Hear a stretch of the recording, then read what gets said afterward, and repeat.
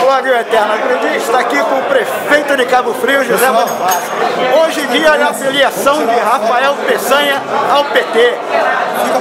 José Bonifácio, nos fale sobre essa Alô, união pessoal, progressista vamos ficar todo mundo aqui no plenário para a imprensa poder vir aqui para cá e a gente tirar uma foto com todo mundo.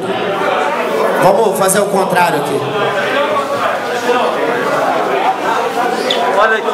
É uma festa da democracia. Eu fiz participação do PDT, sou vice-presidente do PDT, mas a, qualquer lugar que tenha a festa da democracia eu estarei presente para fortalecer. Nós precisamos é disso, garantir a democracia do Brasil, que está incorrendo risco. Está correndo risco. E a, a, a presença e a criação de Rafael, esse valor Alô? Pessoal do Diretório Municipal é aqui. Belo, Júnior. Democra-